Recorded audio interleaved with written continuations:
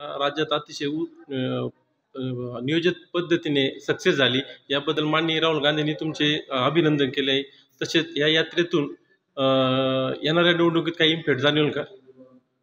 भारत जोडो यात्रा कन्याकुमारीपासून सुरू झाल्यानंतर महाराष्ट्रात दोन महिन्यानंतर आली. सात नोव्हेंबरला आणि त्यानंतर जो उत्स्फूर्त प्रतिसाद मिळाला खरं तर उल्लेखनीय अशा प्रकारचा होता. दोन्ही सभा नांदेडची सभा असेल नाही तर शेगावची सभा या अत्यंत उच्चांकी संख्येनं लोक उपस्थित होते उत्स्फूर्तपणे होते.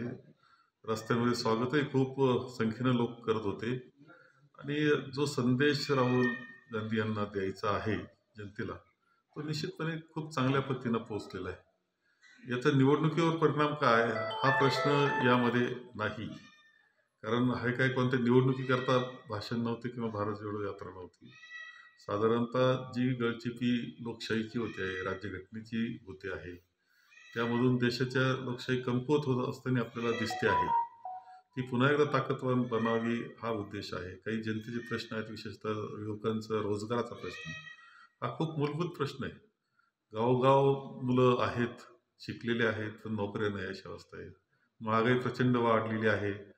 सर्वसामान्याचं जीवन कठीण झाले हे विषय घेऊन राहुल गांधी हे निघालेले आहेत. आणि ह्या विषय इतके जीवाभावाचे आहे की त्यामुळं उत्स्फूर्तपणे लोकांनी त्यांना पाठिंबा दिलेला आहे. यामध्ये काँग्रेस पक्ष सहभागी आहे पुढाकार आहे. परंतु या विचाराचे जे जे होते ते त्यामध्ये सहभागी झाले होते. याच्यात राजकारणाचा किंवा निवडणुकीचा विषय कधी घेण्यात आलेला नाही. सर आज माननीय उद्धव ठाकरे साहेबांनी म्हटले आहे की केंद्राचं पार्सल हे वृद्ध आश्रमात पाठवाविषयी काय सांगाल केंद्राचा म्हणजे राज्यपालाच्या. हो, हो. नाही म्हणजे राज्यपाल महोदय अशी आहे पोस्ट अशी महत्त्वाची आहे परंतु दुर्दैवानं ज्या पद्धतीचे वक्तव्य ते करतात किंवा त्या भारतीय जनता पक्षाचे जे काही प्रवक्ते आहेत ते करतायत महाराष्ट्राचे हानिकारक अशा प्रकारचे आणि जे मानबिंदू आपले आहेत. छत्रपती शिवाजी महाराज आपला मानबिंदू आहे. एक आपला सन्मान आहे. सर्वांच्या अंतकरणात त्यांच्याबद्दल प्रचंड असं प्रेम आणि जिव्हाळा आणि श्रद्धा आहे.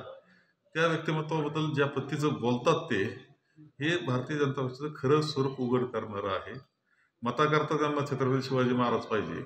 परंतु खरं ज्यावेळेस ते असं बोलून जातात त्यावेळेस कळतं की यांच्या मनामध्ये काय आहे?